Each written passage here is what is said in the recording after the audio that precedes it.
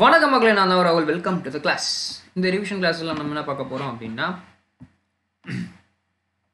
Economy so நம்ம பேரலாக SSC elite video கோர்ஸில் சர்வர் ஃபெயில் ஓகே ஓகே இதோ எரர் காட்டுது. நம்ம அந்த எரர் அப்புறம் ஹேண்டில் பண்ணிக்கலாம். நம்ம எஸ்எஸ்சி எலைட் வீடியோ கோர்ஸில் ரிவிஷன் கிளாஸஸ் பக்காவாக போய்கிட்டு இருக்கு ஸோ நம்ம அதில் வந்து மாடர்ன் இந்தியா முடிச்சாச்சு மிடிவல் இந்தியா முடிச்சாச்சு ஏன்ஷியன் இந்தியா கிளாஸஸ் முடிச்சாச்சு. ஸோ நம்ம அந்த ஏந்து ரிவிஷன்ஸும் பார்க்க போகிறோம் ஸோ ஹிஸ்ட்ரி முடிக்க போகிறோம் ஸோ அதுக்கப்புறமா ஜாகிரஃபி ஆல்மோஸ்ட் நம்ம இதுவே முடிச்சாச்சு தான் ரிவிஷன்ஸுமே இன்னும் கொஞ்சம் கொஞ்சம் கிளாஸஸ் இருக்குது அதுவும் முடிச்சு விட்ருவோம் அதுக்கப்புறமா எக்கனாமி நம்ம அதுலேயும் ஆரம்பிக்க போகிறோம் ஸோ இதை மாதிரி தரமான ரிவிஷன் கிளாஸஸ் பெட்டராக எஸ்எஸ்சிக்கு வேணும்னு நினச்சிங்கன்னா அந்த ஒரு டூ மார்க்ஸ் ஃபோர் மார்க்ஸ் எனக்கு மிஸ் ஆகக்கூடாது சார் எனக்கு ரேங்க் நல்ல ரேங்க் வேணும். நான் ஜஸ்ட்டு மிஸ்ஸில் ஃபெயில் ஆகக்கூடாதுன்னு நினச்சிங்க அப்படின்னா உங்கள் உழைப்பெல்லாம் ஜஸ்ட்டு ஒரு ஆஃப் மார்க்லேயோ இல்லை ஒரு மார்க்லேயோ ரெண்டு கேள்விலையோ போயிடக்கூடாதுன்னு நினச்சிங்கன்னா எஸ்எஸ்சி அலைட் வீடியோ கோர்ஸில் ரிவிஷன் கிளாஸஸ் போயிட்டுருக்கு. கிளாஸஸ் போ பார்க்கலனா கூட ஓகே ரிவிஷன் கிளாஸஸ்க்காக நீங்கள் அதை பர்ச்சேஸ் பண்ணிக்கலாம். கீழே டிஸ்கிரிப்ஷனில் லிங்க் இருக்கு மக்களே. ஸோ வாங்காதவங்க வாங்கிக்கோங்க. வெறும் சிக்ஸ் டபுள் நைன் மட்டும்தான். ப்ளஸ் நீங்கள் டெஸ்ட் ஆர்டர் பண்ணி பார்த்துக்கலாம். உங்களுக்கு பிடிஎஃப் உண்டு. ஸோ நம்ம நேராக ரிவிஷன் கிளாஸஸ் ஆரம்பிச்சிடலாம் மக்களே. ஸோ இன்னைக்கான கிளாஸஸில் நம்ம என்ன பார்க்க போகிறோம்னா Indian economy so Indian economy so Indian economy அப்படின்னு எடுத்தோடனே நம்ம ஃபஸ்ட் என்ன பார்க்க போகிறோம்னா அவுட்லைன் ஆஃப் இந்தியன் எக்கனாமினா நம்ம பார்க்க போகிறோம் நம்ம ஃபஸ்ட் பார்க்க போகிற டாபிக் அவுட்லைன் சரி என்னையா அவுட்லைன்னா India is a fifth largest in the world by nominal GDP so nominal GDP gross domestic product அதுக்கப்புறமா பர்ச்சேசிங் பவர் பேரிட்டின்னு சொல்லுவாங்க. இதெல்லாம் என்னன்னு நான் சொல்கிறேன் purchasing power parity so nominal ஜிடிபியில் India வந்து ஃபிஃப்த் ரேங்க் ஓகேங்களா பர்ச்சேசிங் பவரில் இந்தியா வந்து தேர்ட் ரேங்க்குன்னு சொல்ல முடியாது தேர்ட் லார்ஜஸ்ட்டுன்னு சொல்லலாம். ரேங்க் வேறு லார்ஜஸ்ட் வேறு இல்லைங்களா? ஸோ நம்ம ஏன் கன்ஃபியூஸ் பண்ணிக்கணும் ஃபிஃப்த்து லார்ஜஸ்ட்டு எக்கனாமி பர்ச்சேசிங் பவரில் தேர்ட் லார்ஜஸ்ட்டு எக்கனாமி இது ரொம்ப ரொம்ப முக்கியமான ஒரு விஷயம். நாமினல் ஜிடிபியில் இந்தியா ஃபிஃப்த்து பர்ச்சேசிங் பவரில் இந்தியா தேர்டு சரி இப்போது பர்ச்சேசிங் பவர் பேரிட்டினா என்ன? நாமினல் ஜிடிபி கூட ஓரளவுக்கு நம்ம வந்து ஒரு ஒரு அண்டர்ஸ்டாண்டிங்கில் இருப்போம். பட் பர்ச்சேசிங் பவர் பேரிட்டினா என்னென்னா இப்போது ஒரு கண்ட்ரியில் மாத சம்பளம் ஒரு இப்போது வந்து தனித்தனி இப்போ இந்தியாவில் வந்து மாத சம்பளம் ஐம்பதாயிரம் வச்சுக்கோங்க. ஆனால் இது இந்தியாவில் யூஎஸில் ஒரு எக்ஸாம்பிளுக்கு ருப்பீஸ்லேயே சம்பளம் தராங்கன்னு வச்சுக்கோங்க. மாத சம்பளம் எழுபத்தஞ்சாயிரம் வச்சுக்கோங்க. ஒரு எக்ஸாம்பிள் தான் நான் சொல்கிறேன் கம்பேர் பண்ணிக்காதீங்க ரியலில் போயிட்டு. இப்போது இந்தியாவில் ஐம்பதாயிரத்தை வச்சு ஒரு எக்ஸாம்பிளுக்கு ரெண்டு கார் வாங்கலாம்னு வச்சுக்கோங்க. ஆனால் இங்கே ஒரு ஸ்கூட்டி தான் வாங்க முடியும். அப்போது எங்கே பர்ச்சேசிங் பவர் அதிகம்? இந்தியாவில் தான் பர்ச்சேசிங் பவர் அதிகம் இல்லைங்களா? ஸோ இதுதான். ஸோ உங்கள் காசை வச்சு எவ்வளோ பொருட்கள் வாங்க முடியும்? எவ்வளோ நெசசரி பொருட்கள் வாங்க முடியும்? ஒரு எக்ஸாம்பிளுக்கு தான் நான் இந்த காரு இந்தியா யூஎஸ்லாம் சொன்னேன் அது ஒரு ஜஸ்ட் ஃபார் ஒரு எக்ஸாம்பிளுக்கு மட்டும்தான். ஸோ எதில் எந்த காசை வச்சு அதிகமான பொருட்கள் வாங்க முடியுமோ அதுதான் பர்ச்சேசிங் பவர் பேரிட்டின்னு சொல்லுவோம். இந்தியா அதில் தேர்ட் லார்ஜஸ்ட்டாக இருக்குது ஸோ இதுதான் ஒரு ஜஸ்ட் ஒரு அவுட்லைன் ஸோ இப்போ வந்து nature of Indian economy India Indian எக்கனாமியோட nature என்ன? Nature of Indian economy so nature of Indian எக்கனாமியில் Indian எக்கனாமியை ரெண்டு விதமாக பிரிக்கிறாங்க. ஒன்று வந்து மிக்ஸ்டு எக்கனாமி அதுக்கப்புறம் இந்தியாவை வந்து அக்ரேரியன் எக்கனாமின்னு சொல்கிறாங்க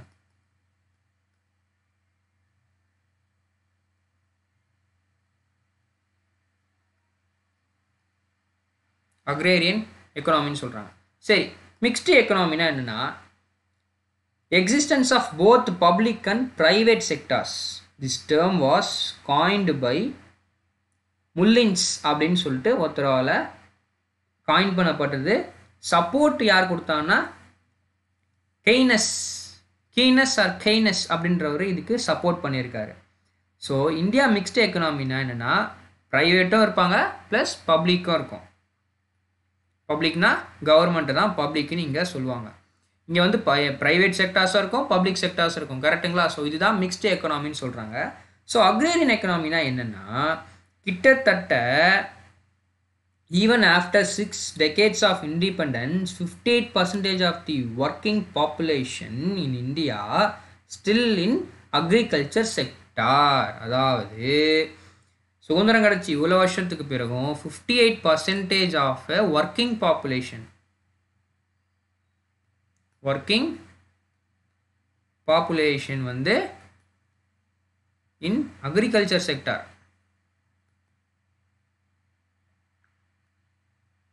அக்ரிகல்ச்சர் செக்டாரில் தான் இருக்காங்க.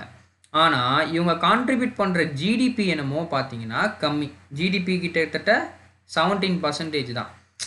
ஸோ இதில் அக்ரேரியன் எக்கனாமி ஏன் சொல்கிறாங்கன்னா மோர் தென் ஃபிஃப்டி பர்சன்டேஜ் இல்லைங்களா? ஸோ ஃபிஃப்டி பர்சன்டேஜுக்கு மேலே இருக்கிற ஒர்க்கிங் பாப்புலேஷன் அக்ரிகல்ச்சரில் இருக்கிறாங்க. அதனால இந்தியன் எக்கனாமி வந்து ஒரு அக்ரேரியன் எக்கனாமின்னு சொல்கிறாங்க ஆனால் அவங்க கான்ட்ரிபியூட் பண்ணுற ஜிடிபி என்னமோ செவன்டீன் தான். ஸோ இதுலேருந்து என்ன தெரியுதுன்னா அக்ரிகல்ச்சரில் நிறைய பேர் ஒர்க் பண்ணுறாங்க ஆனால் அவங்கக்கிட்டேருந்து இருக்கிற அவுட் கம் கம்மியாக இருக்குது ஸோ இந்த மாதிரி ஒரு சுச்சுவேஷனில் அக் அக்ரிகல்ச்சர் ஃபீல்டு வந்து வளருதுன்னு சொல்ல முடியாது. நிறைய பேர் ஒர்க் பண்ணுறாங்கன்றதுக்காக இந்தியாவில் அக்ரிகல்ச்சர் நல்லா இருக்குன்னு நம்மளால் சொல்ல முடியாது. ஏன்னா அவங்க கொடுக்குற அவுட்டு கம்மியாக தான் இருக்குது ஸோ புரியுதுங்களா? அவங்க கொடுக்குற அவுட்டு கம்மியாக இருக்குது ஸோ அதனால் நம்ம இந்தியன் அக்ரி அக்ரேரியன் எக்கனாமின்னு சொன்னாலும் இந்தியா வந்து அக்ரிகல்ச்சர்னால மட்டுமே டெவலப் ஆகுது அப்படின்றதுக்கு ஒரு மீனிங் கிடையாது. அதை தான் நான் அப்படி எழுதி புரிய வச்சுருக்கேன். புரியுதுங்களா?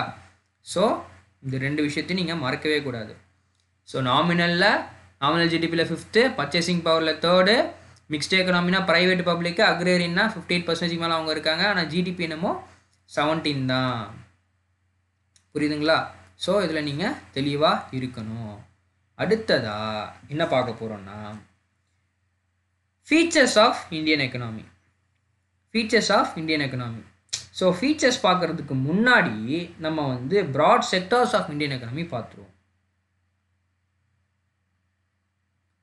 செக்டார்ஸ் ஆஃப்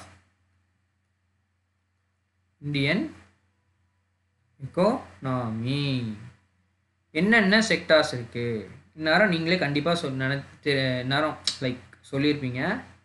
ப்ரைமரி ஸ்கூல்லேருந்து இதானே படிச்சுட்டு இருக்கோம். ஞாபகம் இருக்குங்களா? இதெல்லாம் கண்டிப்பாக இப்போ ஞாபகம் வரும். ஞாபகம் இல்லைனா கூட. செகண்டரி அதுக்கப்புறம் டெர்ஷரி ஓகேங்களா?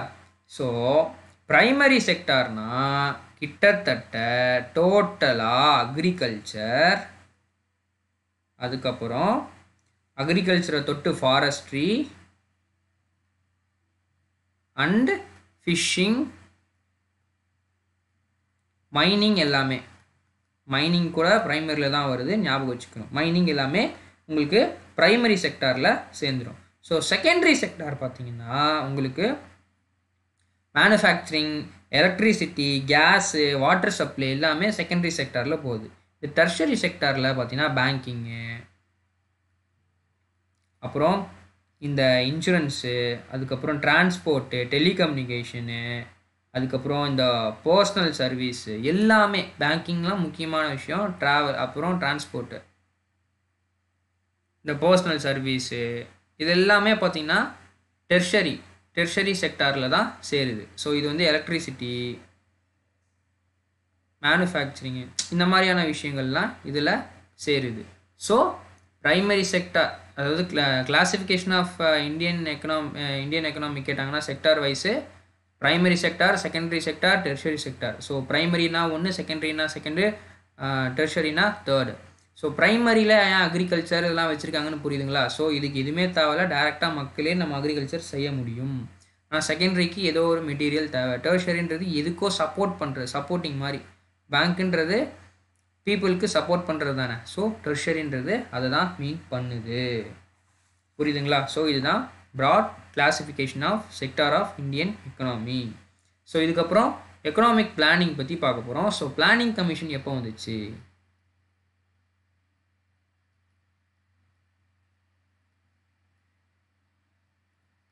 ஸோ பிளானிங் கமிஷன் எப்போ வந்துச்சு? பிளானிங் கமிஷன் நைன்டீன் ஃபிஃப்டியில் பிளானிங் கமிஷன் தொடங்குச்சு. ஸோ நைன்டீன் ஃபிஃப்டியில் பிளானிங் கமிஷன் தொடங்குச்சு. செட்டப் பண்ணுறது சேர்மன்ஷிப் ஆஃப் பண்டிட் ஜவஹர்லால் நேரு யார்? ஜவஹர்லால் நேரு தலைமையில். ஜவஹர்லால் நேரு தலைமையில் பிளானிங் கமிஷன் தொடங்குது. தன் வேலையை தொடங்குது. Basic aim of economic planning is to bring rapid economic growth through agriculture industry power and all other sector of Indian economy planning கமிஷன்னா ஒரு இந்தியன் எக்கனாமியை கரெக்டாக பிளான் பண்ணி எல்லா ரிசோர்ஸையும் கரெக்டாக யூஸ் பண்ணி த ஒரு கண்ட்ரியை வளர்க்க நினைக்கிறது தான் பிளானிங் கமிஷனோட முக்கியமான ஒரு கோல் அப்புறம் நீத்தி ஆயோக். இந்த பிளானிங் கமிஷன் வந்து அது காலப்போக்கில் நீத்தி ஆயோக்காக மாறுது. நீத்தி ஆயோக். என்னென்னா நீத்தி ஆயோக் வந்து டூ தௌசண்ட் ஃபிஃப்டீன் ஜனவரி மா மாதம் two thousand fifteen Jan first implement ஆகுது. புரியுதுங்களா? நீத்தி ஆயோகோட ஃபுல் ஃபார்ம் கூட எக்ஸாமில் கேட்குறாங்க கிட்டத்தட்ட எழுதிக்கோங்க. National institution for transforming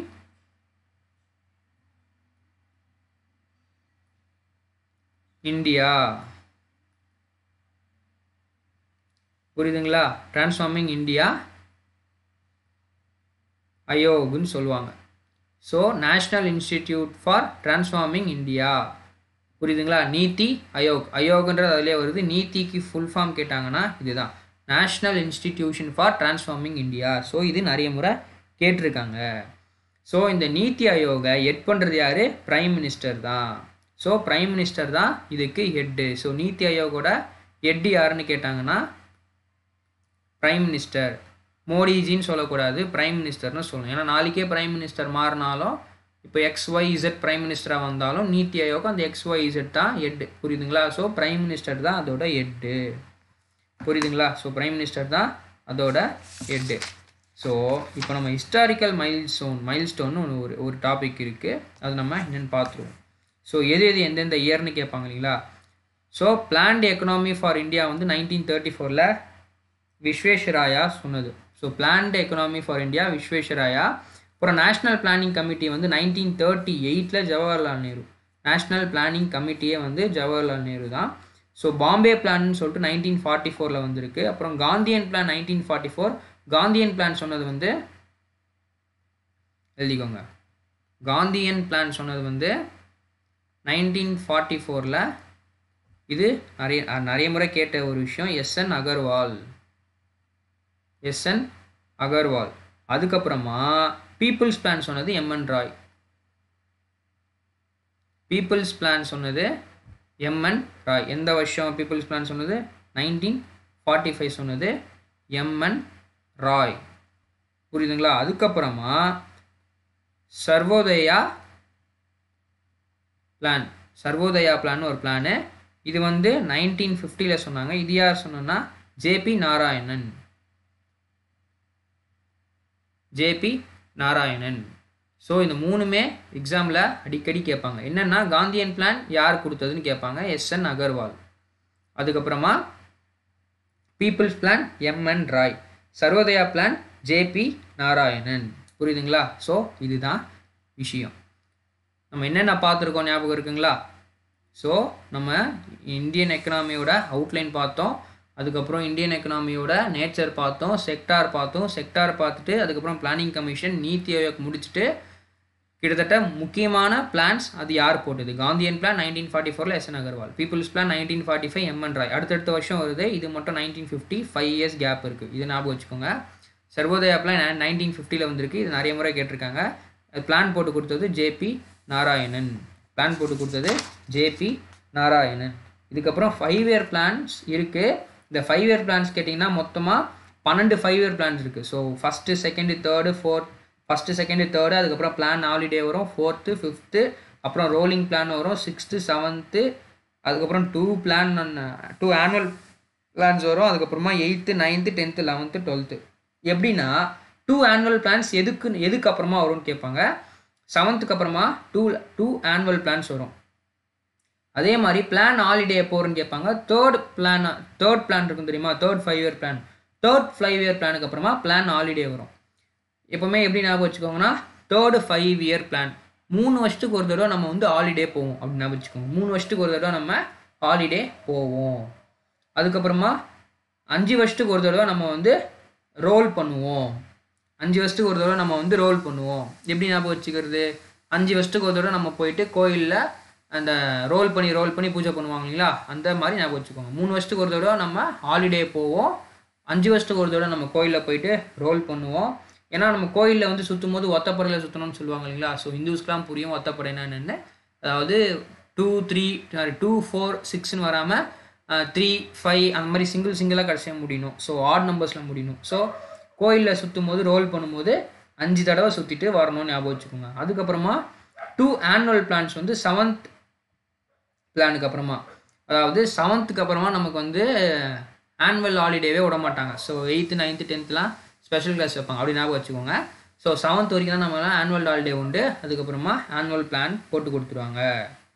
புரியுதுங்களா? ஸோ இந்த மாதிரி ஞாபகம் வச்சிங்கன்னா ஈஸியாக ஆன்சர் பண்ணிட்டு போயிடலாம் மக்களே. ஸோ இதே மாதிரியான சிறப்பான ஷார்ட்கட்ஸோட ரிவிஷன் கிளாஸஸ் வேணும்னா கீழே எஸ்எஸ்சி வீடியோ கோர்ஸ் இருக்குது பர்ச்சேஸ் பண்ணாதவங்க அதை பர்ச்சேஸ் பண்ணிக்கோங்க. கீழே டிஸ்கிரிப்ஷனில் அதுக்கான லிங்க் இருக்குது சிக்ஸ் டபுள் நைன் மட்டும்தான் மக்களே.